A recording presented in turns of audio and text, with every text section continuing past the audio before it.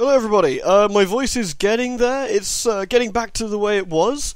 So I'm thinking another, sorry, another couple of days, and I should be good to go. So I'm thinking I'm going to restart everything on Monday. Uh, so that'd be Fatal Frame, Drakengard, and yeah, that'd be Mondays. I'll probably upload one Monday, then the next Tuesday or something. So yeah, sorry for the delay, but I'm feeling a lot better, which is good. Yay! But my voice isn't quite right. If I start talking for a few minutes at a time, it starts to go kind of like Colonel Sudsney. You know, and that's just no good for anybody.